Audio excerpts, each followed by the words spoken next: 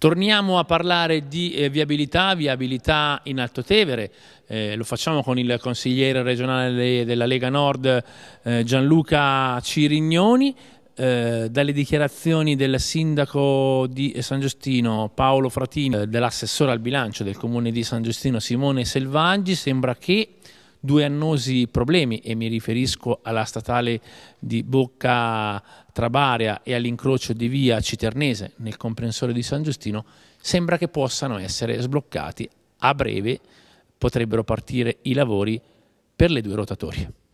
Ecco, io innanzitutto mi auguro che non si tratti dei soliti annunci cui poi trionfalistici, cui poi seguiranno ancora anni di nulla di fatto questo è chiaro. Eh, se eh, vedremo quello che succederà, noi sicuramente vigileremo perché questo annoso problema venga risolto. Ricordo che, tra l'altro, eh, io stesso ho segnalato qualche tempo fa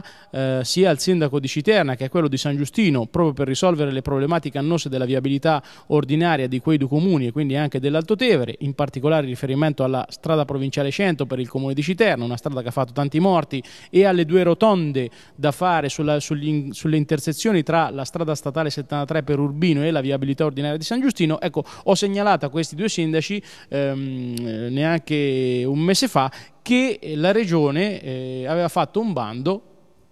al quale eh, potevano partecipare i comuni per mettere in sicurezza la viabilità eh, diciamo, presente sul loro territorio, la, la viabilità pubblica. Ecco, eh, Prendo atto eh, che da quello che ha detto il sindaco di San Giustino pare che mi abbia ascoltato perché da quello che ho sentito ha dichiarato che hanno presentato a tempo di record un progetto per partecipare a questo bando. Ecco, su questo ne prendo atto con soddisfazione, eh, vedo che insomma, il sindaco di San Giustino si è mosso eh, bene eh, da questo punto di vista, ecco, speriamo che eh, però non siano solamente mere dichiarazioni e che in particolare ehm, ci sia un accordo con la Regione Umbria perché insomma fronte di questo progetto presentato qualche soldo arrivi per sistemare, per mettere in sicurezza quella rotonda nei pressi dello stadio per la quale la gente e noi stessi abbiamo raccolto tantissime firme, sono anni che ci battiamo e si chiede sia una rotonda che un passaggio pedonale protetto, così come dovrebbe essere fatto all'incrocio l'altro sempre intersezione che è stata teatro recentemente di un incidente stradale molto grave nel quale sono rimasti coinvolti tra l'altro cinque, cinque, giovanissimi calciatori ricoverati in ospedale. Ecco anche quell'intersezione deve essere eh, sistemata perché in Alto Tevere non ne possiamo più di strade eh, fatiscenti e in particolare di annunci di sistemazione cui poi seguono, non seguono i fatti. Prendo atto invece che per quanto riguarda la strada provinciale 100 nel comune di Citerna eh, che è un annoso problema, il collegamento tra, Citerna, tra Pistrino, Citerna e Fighille, una strada che ha fatto tanti morti purtroppo, tanti incidenti stradali, che è fatiscente, limitata a 30 km orari, ecco su questo invece tutto tace, sia dal punto di vista della regione che dal comune che dalla stessa provincia e, e anche ecco qui noi continueremo la nostra battaglia e ovviamente eh, faremo pressing perché questi lavori vengano eseguiti. E78 e E45, parliamo di E45 perché oramai crediamo che la E78 non essendo stata inserita nel decreto sblocca Italia se ne parlerà forse fra qualche anno. E45 si va sempre più verso l'autostrada. Allora, noi ribadiamo come forza politica la nostra ferma contrarietà alla trasformazione in autostrada delle 45, riteniamo che eh, sia solo un, una mera affare per pochi privati, quello quindi di mettere il pedaggiamento su una strada che già ha quattro corsie e che secondo noi ha solamente ed esclusivamente bisogno di essere ammodernata, messa in sicurezza e eh, diciamo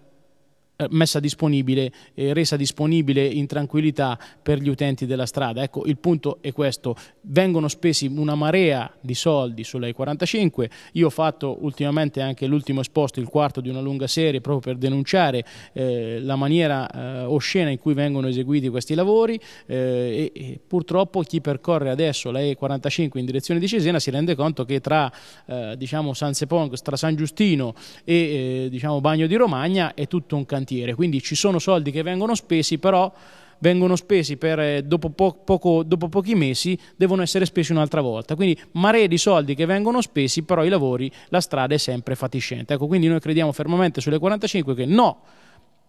alla sua trasformazione in autostrada, sì, no al pedaggiamento, quindi assolutamente sì, invece ad una strada pubblica, gratuita e sicura. Per quanto riguarda le 78, eh, devo dire che il comitato di cui faccio parte, il comitato Apriamo la Guinza, ha raccolto, è arrivato a raccogliere 2800 firme. Nei giorni scorsi le abbiamo consegnate al, ministro, al vice ministro Nencini che era in visita qui in Alto Tevere, gli abbiamo consegnato le copie perché gli originali arrivati a 10.000 firme li consegneremo ai consigli regionali di Toscana e Umbre Marche con i quali chiedere, chiediamo che nelle more della realizzazione di questa importante strada e o nel caso non venga fatta comunque la Galleria della Guinza venga ammodernata, messa in sicurezza e resa disponibile per i nostri territori collegandola alla via viabilità ordinaria, un progetto che si può fare, che costa molto meno, che ha un impatto ambientale molto minore, che salterebbe totalmente tutta la problematica riguardante l'attraversamento del paese di Selci, in quale con il nostro progetto, con la nostra proposta, non verrebbe minimamente sfiorato, consentendo invece un collegamento veloce e sicuro tra la valle del Tevere Umbra e Toscana, l'alta valle del Tevere Umbra e Toscana e l'alta valle del Metauro. Devo dire però che ho assistito ad, una, insomma, ad, ad, a delle dichiarazioni quantomeno eh, estemporanee da parte sia dell'assessore regionale Rometti, del sindaco di Città di Castello e anche del viceministro Nencini. Questo terzetto eh, diciamo, ha dichiarato poco tempo fa eh, in, con toni trionfalistici che eh, il completamento delle 78 sarebbe stato inserito nello sblocco Italia e invece non è stato inserito, è stato, ho le conferme per i quali sono state solo affermazioni trionfalistiche ma non vere, quindi una bufala, prima bufala. Seconda bufala, il, ministro ha detto, eh, il vice ministro scusate, ha detto che la, la, la società di progetto per eh, fare questo completamento sarebbe stata già costituita mesi fa, e questo non è vero, ho, ho, ho la documentazione che testimonia che non è vero, in questi giorni dovrebbe essere costituita finalmente invece questa società di progetto, la quale magari intanto potrebbe occuparsi anche di verificare la bontà della nostra proposta, così che da non buttare via fondi pubblici solamente pagando gli stipendi, i premi ai dirigenti regionali e statali coinvolti nella società. E quindi aspettiamo di vedere se questa società di progetto veramente verrà fatta, perché se non venisse fatta sarebbe un grosso scandalo, sarebbe veramente da aspettare questi signori con le uova marce e tirargliele in faccia.